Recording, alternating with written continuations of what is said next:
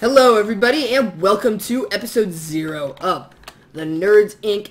Modded Minecraft Let's Play Season 2. We're here on 1710, still on our private Nerds Inc. mod pack.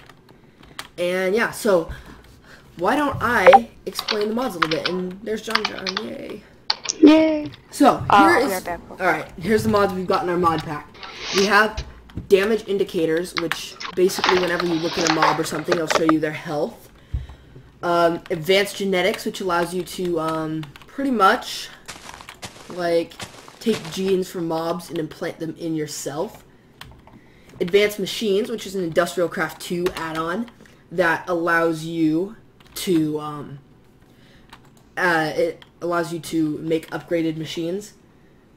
Uh, AE2, which is a cool mod that played with quite a bit in season one. Well, not quite a bit. We we dabbled into it a little bit.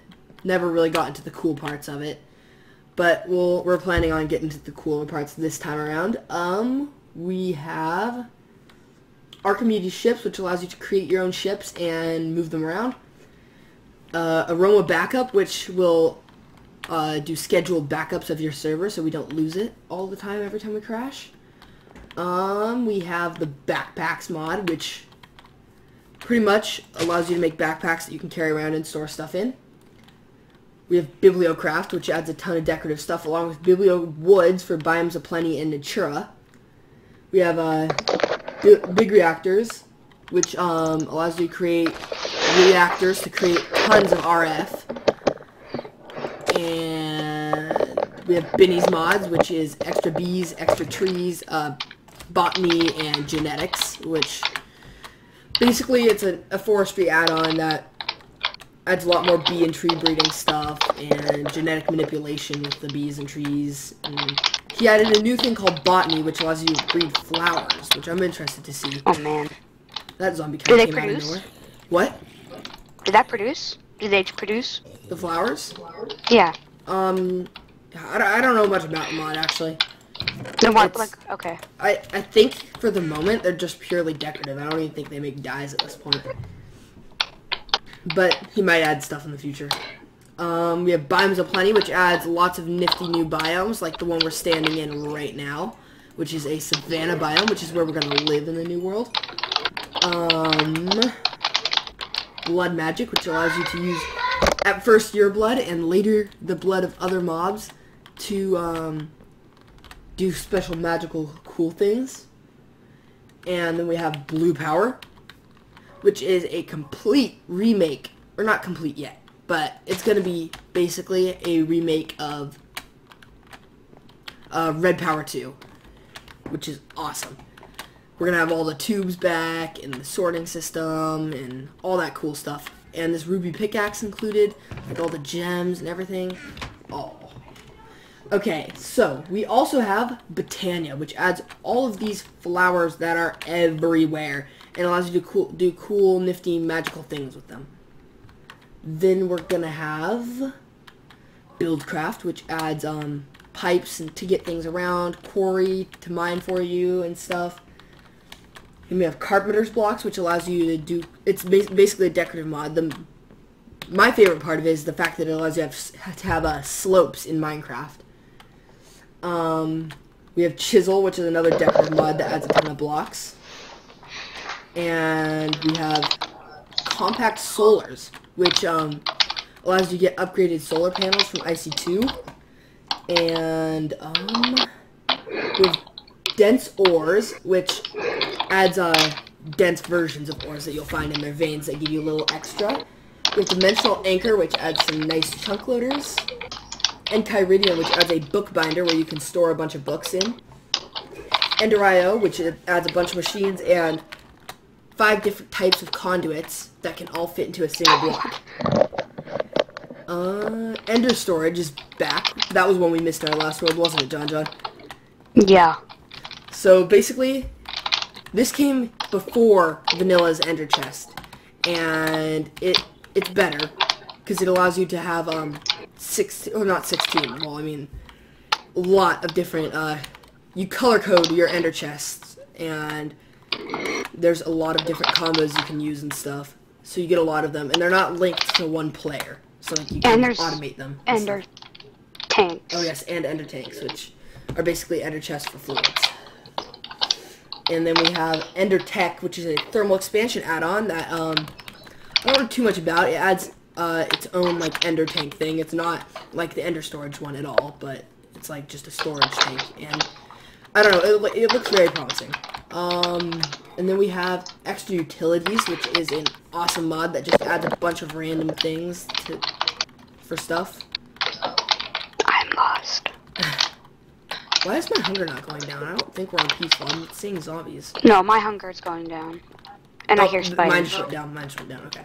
Um, let's see.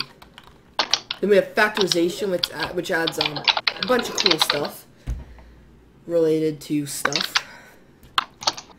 And we have fastcraft, which um for those of you who don't know, Vanilla 1710 has a horrible, horrible chunk generation bug, which makes it super laggy when, like, especially at the beginning of the game, but probably just mostly throughout it and it's not too bad in vanilla itself, but um, mods make it like a hundred times worse. So pretty much, Fastcraft makes the game playable through all of that. And um, we have Professor Flaxbeard's wonderful Steam Power mod, which adds a ton of Steam related stuff. We have Forge multi-part integration, which um, allows every block in the game to be cuttable by Forge multi-part. We have forestry, which adds tons of, which adds bee breeding, tree breeding, automated farms, lots of coolness. Breeding. What? What? All the breeding. Yeah. Oh, and butterflies, uh, which are pretty much still useless. Let's see. Then we have hats and hat stand by iChun, and basically you get hats that you can wear. I don't have any yet, but this is the menu. You'd pick a hat and wear it. Um. Then we have Industrial Craft 2, which adds a ton of machines and other nifty mechanics. Uh, inventory tweaks, which allows you to do stuff such as sort your inventory and other stuff. Iron Chest, which adds upgraded versions of chests that can hold more. Uh, we have Jabba, which is just another better barrel add-on, which adds barrels basically. It's that not an add-on. Awesome. Well, that that's that's what Jabba stands for. So, you know. Um.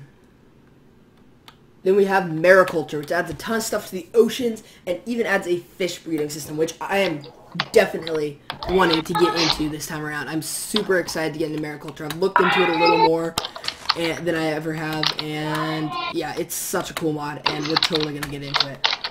Um, we have Mekanism, which adds a ton of machines that, and like it even adds five times ore processing. You heard that right, five times ore processing. But it's a pretty complicated setup.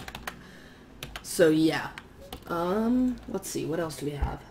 We have the modular force field system, which adds force fields and force manipulators that can do cool stuff. Uh, MineFactory Reloaded Yes. one of my favorite mods. Great automated. Basically, it's all about automating all the things. Good, cool automated farms, cool automated spawners, just automated everything. Uh, then we have Mine Menu, which uh, adds this nice little menu where you can add keybinds, commands, whatever you want to these little slots right here, which is cool. I think one of my trees just grew. Yay, plum tree. Okay. Um.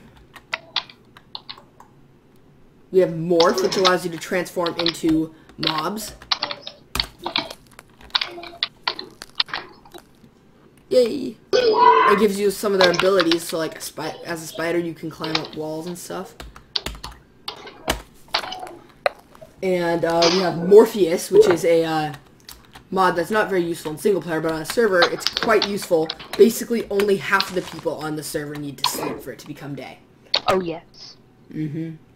And we have Natura, which has a ton of nature-related stuff.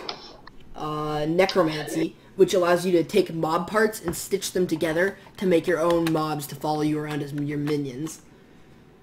Uh, NEI, which is this cool mod that basically has different modes, such as uh, recipe mode and cheat mode and utility mode. Like in cheat mode, you can cheat in items, change yourself to creative, all that stuff. But in recipe mode, you're just basically, you know, not doing that. So yeah, you're you can uh, see recipes for things by doing stuff. Coolness. All the things. Yep, pretty much. Then we have obsidian plates, which adds obsidian pressure plates, which can only be opened by players. And um, we have open blocks, which is another mod that adds just a ton of random useful things. Uh, Opis, which adds a ton of server profiling tools to help you detect where lag is coming from, and a nice little map. Uh, we have, we also have Pam's Harvest Craft, which adds a ton of nifty foods to the game. Uh, we have Pneumatic Craft, which adds a bunch of stuff related to air pressure. Progressive Automation, which is one we're probably going to be using in the first few episodes. It's, uh, let's see. Uh, progressive Automation, let's go there now. Whoa, that car though. Yeah. Sorry about that, guys. Um, so like you have all these, you have miners, choppers, planters, and generators that are um, all pretty early game stuff. But um, this did win the most balanced mod from the re most recent ModJam award. So I'm kind of interested to check it out. We're gonna definitely be using it early game. Uh, we have okay, Jonathan. This is the one we are pretty much, the new mod we are pretty much most excited for. Project E. Yes. Yes. It is a complete rewrite of Equivalent Exchange 2. For those of you who were around back then in Oh, the yes. 125 days, you guys will remember E2 as one of the most awesome mods ever. And, or one of the most OP. You could remember it either way. But yeah. So, for those of you who remember it from back then, Hope you guys will enjoy us playing with it. For those of you who um, weren't around back then, I'm super excited to show you guys how it works and get you excited, as excited for it as I am. Um, then we have Railcraft, which adds a ton of stuff with trains and mine carts and all that stuff. Then we have Random Things, which again adds just a ton of random things. Um, then we have Redstone Arsenal, which adds a bunch of uh, RF tools. And Refined Relocation, which adds some cool stuff, such as an awesome early game sorting system, which we'll be probably getting into. Uh, we'll probably be using that until Blue Power integrates a way, adds a way to create power so we can use their sorting system. And, um, let's see. We have or, uh, Remote I.O., which allows you to remotely access blocks. Uh, rotatable blocks, which allows you to rotate any block with a wrench. And uh, we have Simply Jetpacks, which adds RF, or jetpacks that run off of RF. We have Steve's Carts, which adds modular carts that you can, like, just you can make your carts do whatever you want. They can farm any, they can farm for you. They can mine for you. They can guard your base for you. It's pretty cool. Uh, we also have Steve's Factory Manager, which adds some cool automation, and Steve's Workshop, which adds like basically a cool thing that we're probably going to be making episode one ish. Um, then we have Sync, which allows you to clone yourself. Talismans, which adds a ton of cool things for baubles, which I forgot to mention. You just click this little thing right here to go to your baubles inventory, and you have these slots where you can put stuff. So talismans adds some stuff that you put in your bauble slots and gives you cool buffs and stuff. Um, is Jonathan still here? No. Okay, he's not. Um, Tinker's Construct, which allows you to create awesome tools. Thaumcraft 4.2. Oh, he's here. I can't hear you, Jonathan. Okay. Uh, ooh, I'm about to die of starvation. I need to get food. Right now. Um, yeah. So, we have Thaumcraft 4.2, which added a ton of cool stuff. Thaumcraft's basically like the first magical mod there ever was. And it's still probably one of the best today. We also have Thaumic Exploration and Thaumic Tinkerer, two add-ons for Thaumcraft. Uh, Thermal Expansion, which adds, it's another mod that adds a bunch of machines related to ore processing and stuff. but it, it does a lot more than that, and it's it's a really cool mod.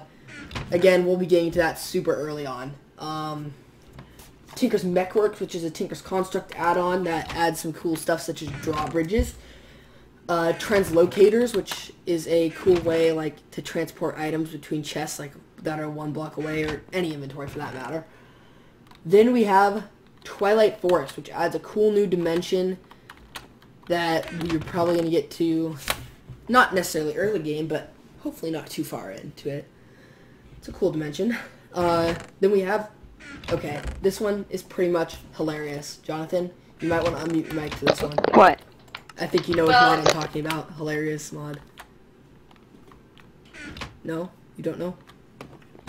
Okay. Well, it's called Villager's Nose. And pretty much, oh gosh, I am dying of starvation. You got food, John John? Okay. Um, ah, there we go, steak. Alright, so we have, yeah, Villager's Nose lets you cut off a villager's nose with shears and wear it or plant it to grow a new villager. So that's pretty cool. Uh, we also have Waila, which is called, it stands for What Am I Looking At? And you can see it up there. It says I'm looking at a grass block from Minecraft. Coolness. And then we have uh, Witchery. And that adds a ton of cool witchcraft related things. So, that is all we've got. Witchcraft. So, um, we will see you guys in episode one of season two of our modded Minecraft Let's Play. And Jonathan, Peace.